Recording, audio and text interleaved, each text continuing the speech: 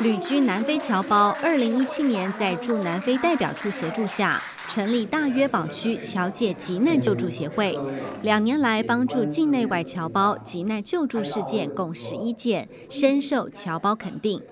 帮助了不少的呃台侨在这里，有的是被抢啦，有些是法律问题啦，有些是签证问题啦，这些都迎刃而解。日前，协会举行大会，举办讲座，近六十位侨胞就居家安全及健康发言分享经验。驻南非代表处贺中义以三心两意赞许会员急公好义的精神。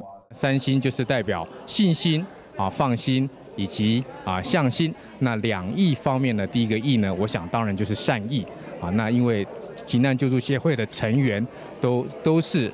基于这个很很强的一个善行的这个意念呢，来投入金钱、时间及资源来提供协助。那借由平常急难救助协会的推广宣导，也使我们的国人跟侨胞能够更加留意平常的生活，要注意安全。会中同时举行新旧会长交接仪式，新任会长表示，希望侨界继续给予支持，团队会坚持守望相助的精神，照顾侨胞。